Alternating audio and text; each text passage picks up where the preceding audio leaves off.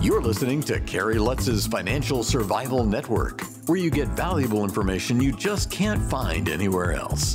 To thrive in today's trying times, you need the Financial Survival Network now more than ever. Go to financialsurvivalnetwork.com and get your free newsletter and gift. Financial Survival Network now more than ever. Welcome. You are listening to the Financial Survival Network. I'm Kerry Lutz, and today's 225 22.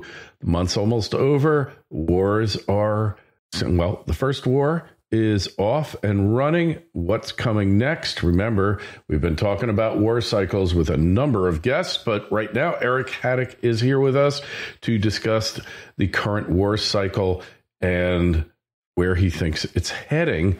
And you can always find him at Inside, that's I N S I I D E track dot com. Eric, uh, welcome back. So, we've been talking about this war cycle for years now, and you told uh, you told us that uh, wait until 2021 for the war cycles to kick in. So what's uh, what's going on here? Well, as, as we've discussed uh, over the last few years, there is a, a really long term, broader cycle that has been underpinning uh, all of my analysis on these expected war cycles. And uh, as with any of my analysis, it's it's synergy of multiple cycles kind of coming together and colliding that makes me take notice and, and gives me a higher confidence in in some of these individual cycles. But the one at the core of, of this discussion and why I kept saying wait until late 2021 and into 2022 is uh, a combination where there's an 80 year cycle and there's a very consistent 21 year cycle. But the 80 year cycle is the one that has really intrigued me. It's, it's a pair of the 40 year cycles that I often refer to a cycle that uh, has been recognized for millennia and often is associated with a period of testing or preparation. And two of those, anytime I've got multiples of a particular cycle, that has its own significance. But this 80 year cycle has timed wars and conflicts uh, throughout Europe, throughout England, and then more recently in North America and the US for uh, now uh, 700 plus years. And uh, I, I, detail these. I kind of reiterate this from time to time in my newsletter, but in, in February I went through it again. But you can go back to uh, 1301, 1302, in the beginning of the Ottoman Empire and the Byzantine raids, and, and one of the first major battles, and uh, really the, the Ottoman Empire establishing itself for what would be a 600 year uh, empire took place at 1301, 1302. And from that point forward, every 80 years, you get major transformational battles, wars across Europe, uh, some of them directly related to uh, conflict with the Ottoman Empire, some of them more um, related to Western Europe. But, you know, I, I, again, I detailed this in, in 1381 a major battle in England in 1461, 80 years later, the largest and bloodiest battle ever fought on English soil. 80 years after that was the um, Siege of Buda, led to 150 years of Ottoman control over Hungary. But the significance of that is that that was the western extreme of the Ottoman Empire. So, from a landmass perspective, from an expansionary perspective, it was kind of the pinnacle, even though the uh, the empire uh, continued beyond that. But uh, 80 years later was the final phases of the Dutch Revolt. And uh, not surprisingly, that was a total 80 year war reinforcing that whole uh, concept. And 80 years after that, 1701, the War of Spanish Succession. 80 years after that was the culmination of America's Revolutionary War in 1781 to 83 were the final years of that. 80 years following that, uh, America was embroiled in, in the Civil War that began in 1861 and lasted through 1865. 80 years after that was U.S. entry into World War II in late 1941, and that lasted until 1945. So just a very consistent 80 year cycle. And, and that was one of the reasons why I explained why I thought late 2021 to um, and then stretching into 2025 would see uh, a new phase of war cycles um, in in Europe, in with with U.S. involvement, uh, and I also think that you're going to see a front in Asia in the coming years too. Um, and I don't know whether that's China with the South China Sea, China with Taiwan. Uh, I'm sure that they're watching very closely to see how the West reacts to this current um, battle with Russia and Ukraine. But not only that 80 year cycle, there's a there's a 21 year cycle. It's a multiple of a seven year cycle that I even discussed back in 1999 and 2000 in my INSIIDE Track newsletter when I was warning readers that August through October of 2001 would be the recurrence of a new cycle of wars and battles. And sure enough, the events of 9 11 perfectly fulfilled that. But that was the uh, really the trigger for America involvement in the Iraq and Afghanistan wars. But 21 years prior to that, 1980, was the Soviet invasion of Afghanistan. At the same time, the Iran Iraq war started. And, and so you've got some connections and some similarities between the 1980 and 2001. And 21 years prior to 1980 was 1959 Vietnam. It was really when the North committed to a war in the South. Uh, 21 years earlier, 1938, was World War II and the Holocaust. And that was really one of the most pivotal years leading into that and, and escalating World War II. 21 years before that, 1917 was World War One. And you can go back a couple more 21 year cycles prior is the Crimean War, which certainly has a strong link to what's going on right now between Russia and the Ukraine. So you had, it wasn't just one of these major cycles. This time it was the convergence and the collision of many of them coming into play, which is why I thought that late 2021, early 2022 would see kind of the proverbial first shot in this phase of war cycles. And just as a a little aside there, it was interesting to me how precise this was. That, you know, if you go back 80 years ago, uh, America's involvement in World War II uh, was triggered on December 7th, 1941 and America's involvement in this latest conflict, you can really tie to December 7th of 2021, where after a month of uh, first the U.S. and then Ukraine reporting on tens of thousands of Russian troops massing on their border. December 7th was when Biden came out and threatened Putin against invading, threw down the gauntlet, and uh, you know, at least on a rhetorical standpoint, um, was the the trigger for U.S. involvement. Now that you know that's may just be an economic involvement at this phase, but um, history rhymes; it doesn't repeat. So exactly 80 years apart, you have these trigger events that bring the U.S. into these conflicts. Hmm. All right. Well, it looks like the cycles are uh, are acting the way that that you had anticipated. Uh, so let's go to gold. You were describing a scenario where you expected it to rally from uh, mid November and then December and then late February.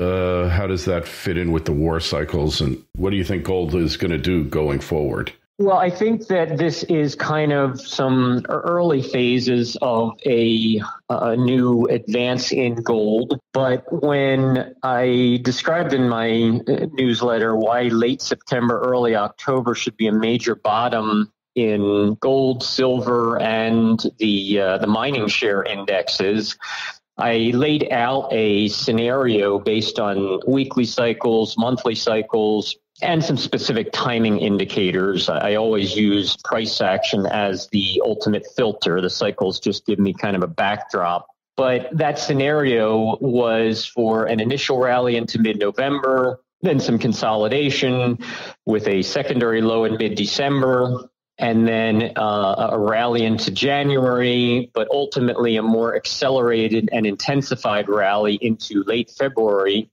Uh, I've explained since uh, since November why I thought that the week of February 21st to 25th would be the culmination of this this phase of gold surge and you often get, I describe it as the 90 10 rule of cycles, uh, but it's really just describing a parabolic or a blow off move. You often get the majority of a price move at the very tail end of a specific cycle. And that's what gold was setting up to do here as well, which is why I was looking for this February surge that I explained why it should peak during this current week, February 21st to the 25th. Um, and sure enough, the fundamental events kicked in, and that's often when you get the uh, the very late coming uh, novice investors who wake up, hear the news event, and suddenly run and buy gold, well, that's often the time when the savvy investors and traders are taking some profits because they've been in gold for several months leading up to this. It's those type of events that often create a top, not a new trend. And I think that this latest invasion is another perfect example of that. Uh, I have laid out for my readers a couple future time frames when I think that gold could see something similar. Uh, whether they whether those surges will be tied to geopolitical conflict or something else, it's not always the same thing. Uh, I, I, don't know, but I think there are a couple other key time frames uh, looking forward when similar opportunities will arise in gold. But uh, not only did it did gold fulfill those cycles and, and run right up into the middle of this week, but the price target all along was to see it spike above 1920 and and more recently, my indicators were saying 1950 to 1960 would be uh, probably the extreme on the upside for this phase. And we had gold spike up to about 1975, 76, depending on the um, uh, the contract that you're watching. Since I do a lot of my analysis on the futures markets, uh, fulfilling those price objectives as well. So I think we're at a phase where we're setting a an intermediate top um, and, I think that there is a specific time frame and some price levels that will be forming where another buy signal will probably form in gold in the coming weeks. But for right now, I think that we've seen the culmination of this particular phase of the uptrend. All right. So, but uh, but you're thinking uh, how how much further down the road? Uh, going to wait? And is gold going to stay close to where it is? Is it going to make some more lows? Where do you think it's heading? Don't just survive, thrive. The Financial Survival Network. American Eagle Gold is focused on exploring for a world class gold deposit on its flagship property, Golden Gate, located in the Cortez Trend next door to Barrick Gold and Newmont Mining's Gold Rush and Cortez Mine. They have produced over 27 million ounces of gold. The company plans to drill and advance its relatively unexplored property and continue to focus on acquiring and advancing gold projects in the area. Vice President of Exploration Mark Bradley was at the helm of the team that discovered and defined Gold Rush and has spent the better part of 30 years working on the Cortez Trend. American Eagle trades under the symbol AEG on the TSX Venture. For more information and to sign up for notifications, go to AmericanEagleGold.ca. This is the Financial Survival Network, the information you need to thrive, now more than ever. Well, I, I don't think it will uh, violate the lows that it that it set last year. It has really been setting a series of ascending lows um, really since March of last year. Uh, gold was kind of the leader here. Then in late September, early October, you had silver and, and the mining shares set final lows, even as gold held its lows. That kind of divergence is very important. And then in mid December, when gold and silver were setting the stage for secondary lows, you had palladium and platinum spike to final lows. So that type of divergence um, it's it's the inverse of what I often describe in in stock market tops uh, between different sectors and indexes that I compare to an old wooden roller coaster where each car in that in that train of a roller coaster hits the peak at a different time. Each one crosses the summit and starts to turn down at a different time. And it's not until the final car crosses that summit that then you get a, a, more accelerated move to the downside. While the flip, the inverse of that is the same for many of these bottoms that you get uh, markets within a specific sector, in this case, precious metals, bottoming at different times. And it's not until those final ones bottom that you open up the, the floodgates for more accelerated moves to the outside, to the upside. And that's what you've seen in, in precious metals in the last couple months. And and I do think one of the one of the key levels for gold is uh, right around 1840, 1850. So that's a critical level of support that should hold if we're going to uh, make it back to new highs sooner rather than later. That support really will have a, a strong influence on timing of future expectations uh, not as much price. Okay, interesting, interesting. And Palladium definitely uh, fulfilled your downside projections. It's been heading higher lately. Obviously, yeah, that you know Russia is a leading uh, producer of of uh, palladium. Yeah, I, I, was explaining back in December and January to my readers why there were some very decisive downside objectives met in palladium. In fact, if you look at just comparing uh, price moves, its drop in into December of last year uh, precisely matched the decline it had back in early 2020. A lot of times markets will give this kind of similar waves where decline, the magnitude of one decline matches the magnitude of another when it's in a particular phase of a cycle and a wave. Palladium fulfilled that. It came down to some key levels of support and was showing that it was ready to start a new bull market along with platinum. Um, and at the time, you know, the, the war drums were only beginning to rumble with Russia and Ukraine, but these markets and, and savvy investors are aware of these things and start preparing uh, in the early phases. And, and so that's when you saw this new bull market start to take hold. And I think that it, it ha- definitely has more upside looking out uh, over the coming months and year. All right, so there's more upside coming. Uh, so much for the EV revolution. It's going to get rid of the need for all that, right? yeah, exactly. Yeah, so that's an interesting uh, observation there. Uh, so, what other markets should we be looking at right now for uh, volatility, et cetera? Well, I think that you have, you know, across the board, obviously, you've had um, a lot of markets react to this on a on a very uh, Russia Ukraine specific um, factor or whatever.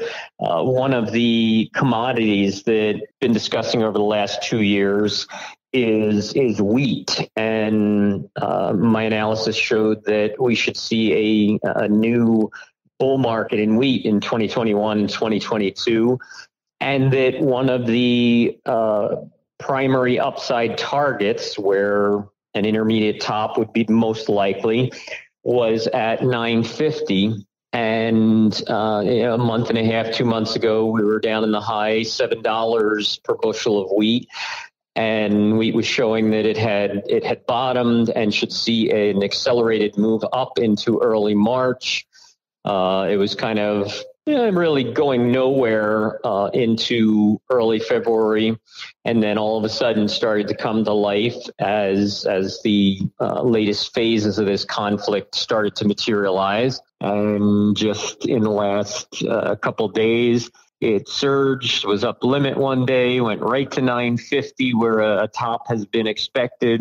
And, and that's probably going to be uh, an intermediate peak there too. Again, you get a lot of this buy the rumor, sell the news type of stuff, or as I put it, buy the anticipation, sell the realization that that the markets are always anticipating things in advance. And that's why it's so dangerous for traders to turn on the news and react to a news event in a correlated way. You know, something like Russia, Ukraine, all of a sudden buying gold, buying wheat. It's too late for that. The, the, the markets have been anticipating that. Uh, if it's on the news, then everybody possible already knows about it. So unless you've got some great inside connection where you can get into that market before everyone else, uh, you're going to be buying the top and selling the bottom. And that's what I think is is one of the things that's so critical about this type of analysis and about technical analysis in, in general. It often anticipates fundamental events ahead. And it's because many of those fundamental events are, are casting shadows before. They are already giving hints of their development. You, you go back to early November when Russia started uh, amassing troops on the Ukraine border.